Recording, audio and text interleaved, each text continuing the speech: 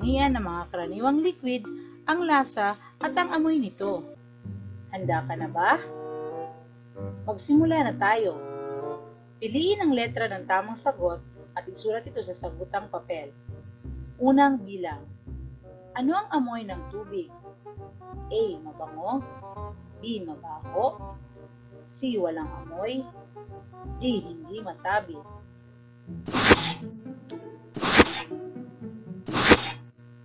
Tamang sagot, C. Ikalawang bilang. Ano ang amoy ng tubig kanal na nanggagaling sa Poso Negro? A. Mabango B. Mabaho C. Walang amoy D. Hindi masabi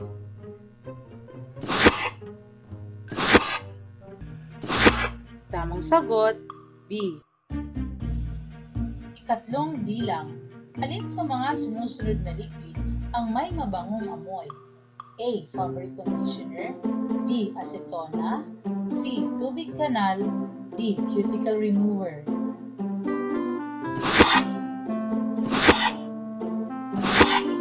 Tamang sagot A.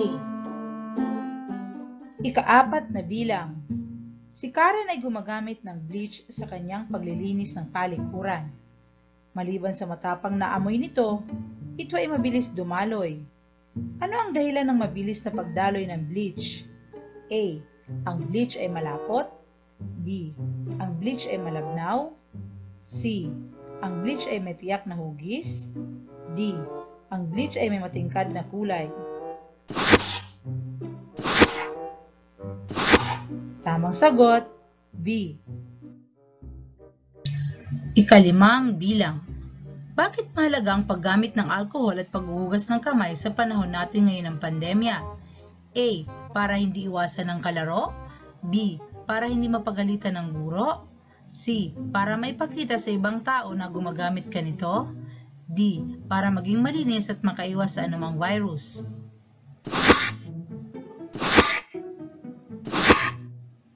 Tamang sagot, D. Ang ating aralin ngayong araw. Ang liquid ay anyo ng matter, bagay o material na hindi nahahawakan at nakukuha lamang kung may sisidlan o lalagyan. Wala itong sariling hugis, may amoy, kulay, dumadaloy, at nakikita. Ano-ano ang mga halimbawa ng liquid na mayroon ka sa bahay? Magaling! Ngayon, familiar ka na kung ano ang mga liquid. Suriin ang mga larawang ito. Bukod sa pagiging liquid, anong katangian ang pareho sa tatlong produkto? Masasabi mo ba ang amoy ng mga liquid na nasa larawan? Maaari kang magpatulong sa iyong nakatatandang kasama sa bahay upang malaman kung ano ang amoy ng mga sumusunod na liquid. Maaari itong amuyin, ngunit kung alam mo na ikaw ay may allergy sa mga liquid na ito, humingi ng tulong sa iba upang matukoy ang amoy ng mga ito. Ano ang amoy ng mga ito? Ang mga liquid na ito ay may mabangong amoy. Ang pabango, hand sanitizer, at fabric conditioner ay may kanais-nais na amoy o ito ay may mabangong amoy. Ang mga liquid na ito ay hindi natin pwedeng inumin. Maaari itong makalason sa ating katawan. Ang mga liquid na may mabangong amoy ay shampoo, hair conditioner, lotion, at marami pang iba. Maari ka pa bang makapagbigay ng halimbawa ng mga liquid na may mabangong amoy? Pagmasdan mo naman ang mga larawang ito. Masasabi mo ba ang amoy nito? Ano ang amoy ng mga liquids na ito? Magaling! Ang mga liquid na ito ay may mabahong amoy o di ka nais-nais na amoy. Ilan sa mga halimbawa ng mga liquid na may mabahong amoy ay ang tubig na galing sa kanal, estero, at poso negro.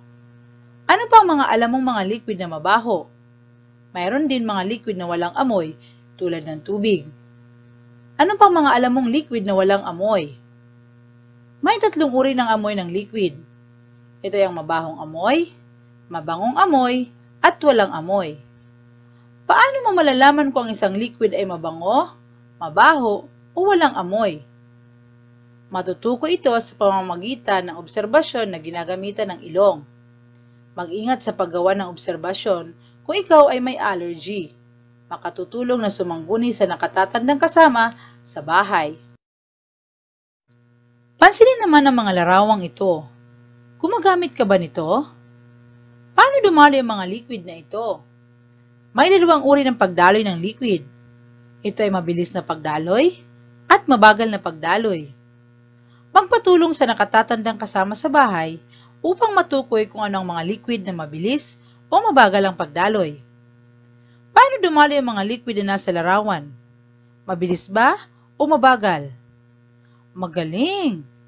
Ang shampoo, dishwashing liquids at condensed milk ay mabagal dumaloy. Mabagal ang pagdaloy ng isang liquid kung ito ay malapot. Pansinin naman ang mga sumusunod na larawan. Mahuhulaan mo ba kung paano dumaloy ang mga liquid na ito? Tama! Mabilis dumaloy ang mga liquid na ito. Mabilis dumaloy ang mga liquid kung hindi ito malapot o yung tinatawag nating malabnaw.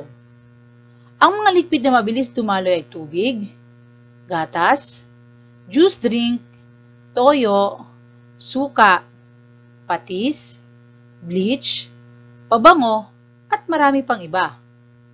Ano pang mga liquid na dumadaloy ng mabilis? Paano mo malalaman kung isang liquid ay mabilis o mabagal dumaloy? Paalala mga bata, maging maingat at masinap kung gagawin mo ang pagkukumpara ng mga liquid sa iyong tahanan. Tandaan din mga bata, hindi lahat ng liquid ay iniinom, tulad ng panlinis ng iyong tahanan at katawan. Ang mga ito ay hindi pwedeng inumin dahil ito ay pwedeng makalason sa inyo. Ngayon, tingnan natin kung natutuhan ang ating aralin. Sagutan mo ang mga pagsasanay. Kunin at sagutan ang gawain 1. May 30 segundo ka para sagutan ang gawain na ito. Piliin natin ang mga liquid sa larawan. Bilugan ang liquid na may mabangong amoy, ikahon ang mga liquid na walang amoy, at lagyan ng tatsulok ang mga liquid na may mabahong amoy.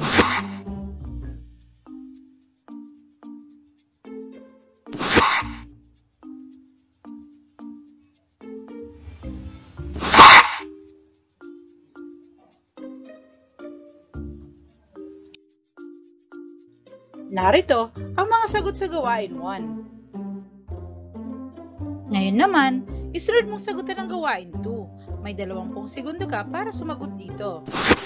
Lagyan ng check ang column ayon sa daloy ng mga sumusunod na liquid.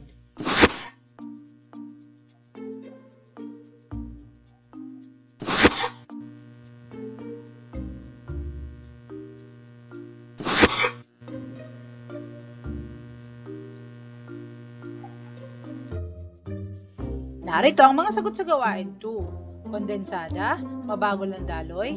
Bleach, mabilis ang daloy. Dishwashing liquid, mabagal ang daloy. Gatas, mabilis ang daloy. Honey, mabagal ang daloy. Ngayon naman, sagutan mo ang panghuling gawain. May 20 segundo ka para sagutan ito. Lagyan ng check ang mga katangiang taglay ng liquid sa unang hanay.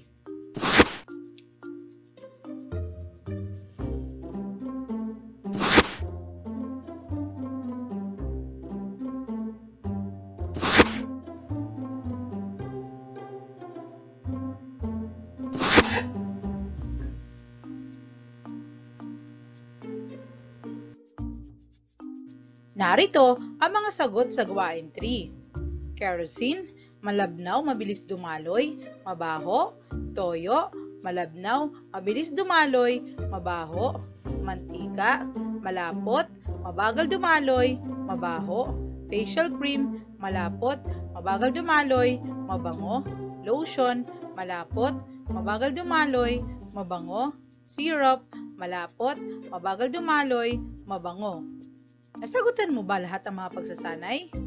Magaling! Talagang ikaw ay may natutuhan na sa ating aralin ngayon. Upang buulin natin ang napag-aralan mo ngayon, sagutan ang gawaing ito.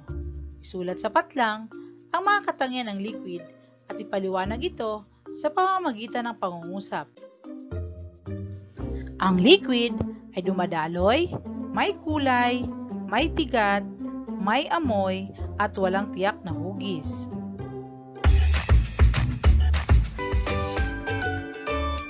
Mabango man o mabaho, o di kaya malapot man o malabnaw, may gamit ang mga liquid sa pang-araw-araw nating pamumuhay. Sagutin ang chart na ito upang matukoy ang gamit ng mga liquid na may iba't ibang katangian. Narito ang mga mungkahing sagot. Liquid na mabango at malapot na ginagamit sa pangangalaga sa katawan. Shampoo, conditioner, lotion, facial cream. Liquid na malabnaw at mabaho na karaniwang ginagamit sa paglilinis sa iba't ibang lugar sa bahay. Bleach at muriatic acid. Liquid na mabaho ang amoy at mabilis dumaloy na ginagamit sa pagluluto. Patis, suka, bagoong.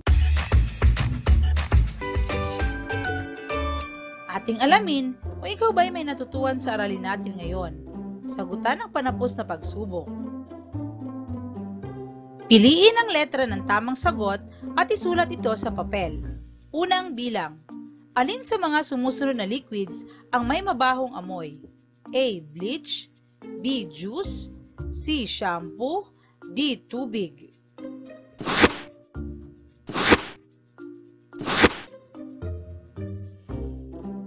Ikalawang bilang. Ang perfume, fabric conditioner, at dishwashing liquid ay may blank amoy. A. Mabaho B. Mabango C. Walang amoy D. Di ka nais-nais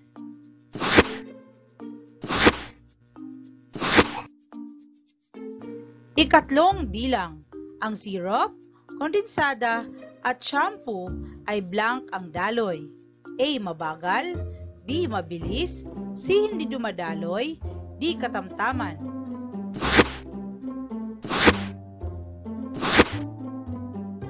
Ikaapat na bilang.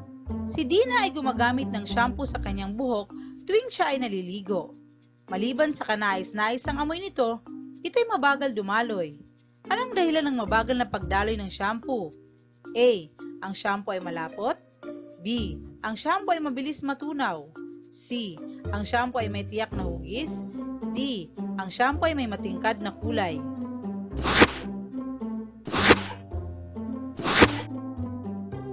Ikalimang bilang. Bakit mahalaga ang paggamit ng alkohol at paghuhugas ng kamay sa panahon natin ngayon ng pandemya? A. Para maging malinis at makaiwas sa anumang virus. B. Para maipakita sa ibang tao na gumagamit ka nito. C. Para hindi mapagalitan ng guro. D. Para hindi iwasan ng kalaro.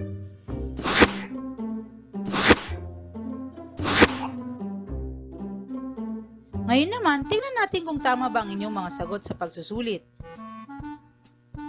Mga tamang sagot. Unang bilang, A. Ikalawang bilang, B. Ikatlong bilang, A. Kaapat na bilang, A. Kalimang bilang, A. Nakakuha ka ba ng mataas na score? Ibig sabihin, ikaw ay may natutuhan sa aralin natin